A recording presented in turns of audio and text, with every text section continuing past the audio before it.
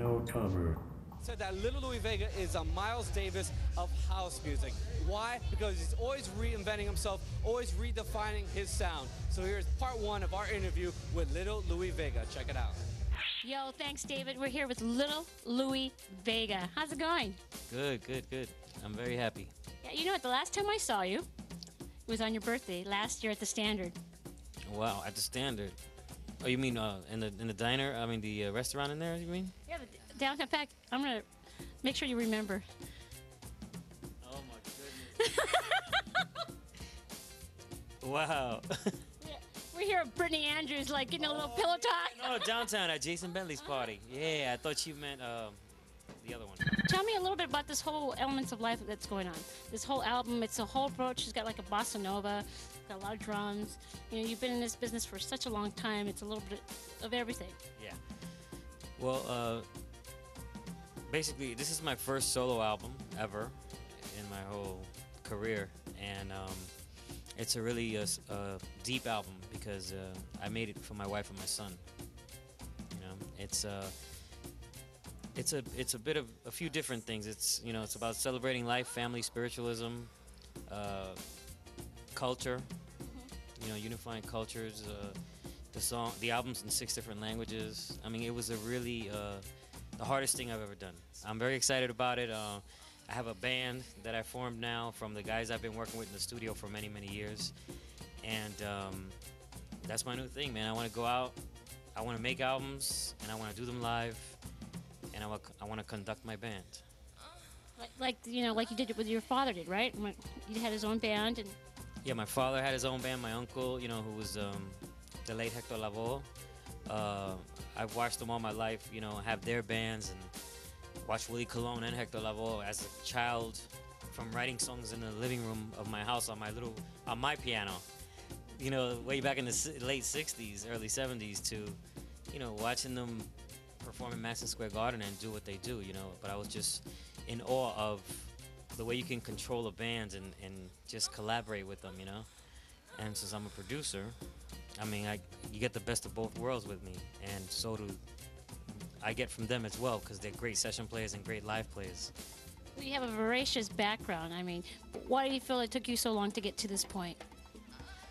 Well, you know, for me, it was just making great music, and I love bringing happiness and people's lives. And when you change somebody's life with your music, that's even more special.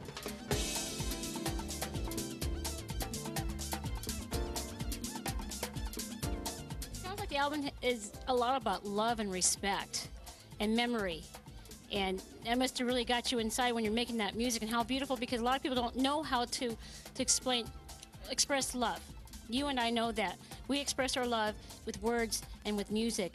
And it sounds like you really expressed everything that you wanted. You've been holding back for quite a few years, it sounds like. Am I right? I did. I even took a break from Masters at Work. I said, Kenny, I really need to record this album. If if I mean, you know, if you follow any of our music, you know that we haven't put out music together for one year almost. Maybe one or two little projects we did here and there, but um, we're focusing on our MAW electronic album in the next month and setting it up for Miami. You know, we're gonna we're gonna play it like some work in progress, but you know, he understood I needed to make this record, and it took about uh, six months to make that record.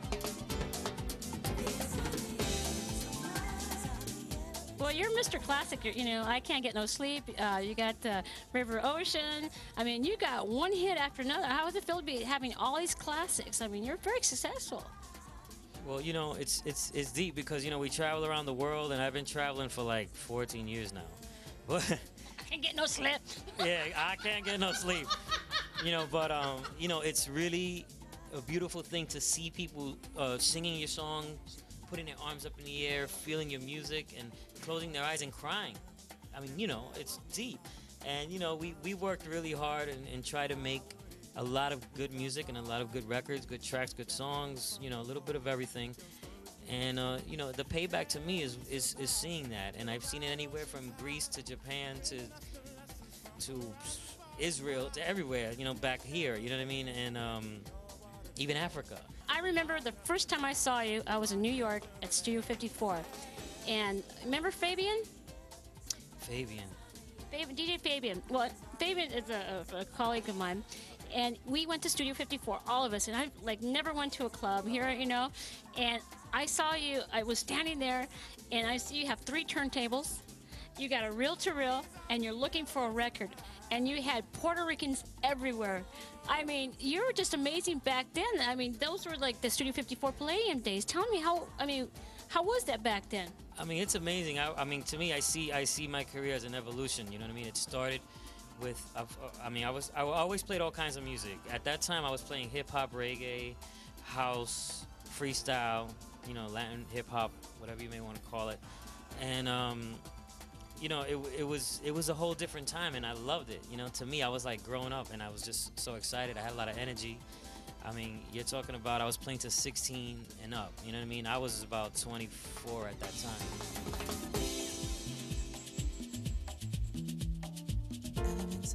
Me and David Orth were talking about um, about dance music and how the hip hop and everything like that.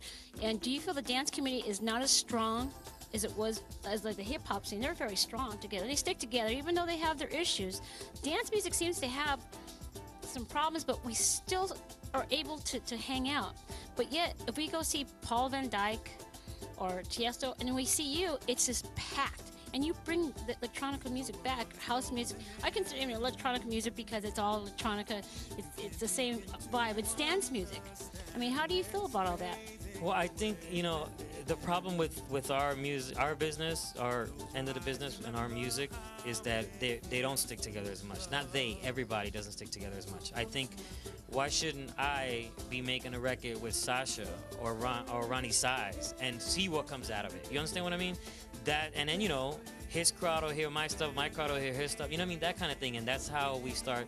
You know, we we need to do more things, more things, and uh, bringing a lot of at least a lot of the people that are leading in a lot of different areas of music together and, and make music and you know there's also a lot of other things that, that need help as well but that's more the record side uh, the record business you know the, the label business favorite instrument that you still have that it's old and dirty, but you still use it? old and dirty. Oh my Rhodes i have Rhodes and on the Rhodes i wrote a lot of songs like you know because i wrote a little bit too. I play keyboards. I mean but i got spoiled with musicians and these incredible players that i don't want to let them go. You know what i mean i don't want to go back to the keyboard and kenny's always like louie let's do it like before because you know our first four or five years when we were doing all those dubs i was playing keyboards and he was doing the beats so Kenny's like, Louie, you need to play again. I said, Yo, I need to practice. I need to go back to the teacher and you know get some new chords because I wrote I wrote in two keys so many songs of our records, but I know those two keys. You know what I mean? It's like It's just like the Beatles. Have you ever seen the music of the Beatles? It's very bas- basic. F A C. Okay, F A C. Yesterday's an F. well, you know, yeah, but you know, I, I I encourage that too for a lot of young people out there that it's important to uh, uh, know your roots and learn your instrument. You know what I mean? You take a class, go to school. I mean, you know, you gotta learn it. Learn learn what it's really about because. I mean, you know, I had classical lessons when I was really young, and then I didn't do any keyboards for a, or piano or anything for a long for maybe about 10 years, no, 15 years. You know, then I went back to it and I said, "Damn, you know, all those those 15 years that went by, I could have been learning it. You know what I mean? And I regret that. But and I would I would have been in a different place musically. But um, it's never too late. You know what I mean? I look forward to that next album. I mean, I'm, I can't wait to hear this album. This is coming out March 9th. You know, we'll be all be in Miami out there celebrating it, and um, then I'm gonna do a remix album of this. Actually, I've already prepared it, where I got all my friends together to do a remix each. Joe Claussell, Kenny Dope, Isolée. Um, oh man, there's so many. DJ Gregory. You know, Spinna. I got all the guys together. They all did remixes, and I produced three new songs. One from Blaze, one from Anané, and one from Raul. And that's gonna come in the summertime. And in the new year, 2005, is when we're gonna put the Masters at Work, uh, the more electronic, which is the next Masters at Work album. if you were a comic book character, who would you be? A comic book character. Spider-Man Why Spider-Man? Or Superman? Which one's stronger? There you have it, little Louie Vega here in Los Angeles at Marques Wyatt's birthday party. You want to say happy birthday to him? Yes, happy birthday to my man Marcus. I love what he's doing out here. He's been doing it for years, and I'm really proud of him because I've seen him way back from the beginning, back in his brass days, you know, to where he is now. And I'm happy. His CDs, everything he's doing, you know, his night deep, more power to it. I'm here always. That's my residency in LA, and I love LA. There you have it, Little Louie Vega, Los Angeles. Thank you. You're watching No Cover.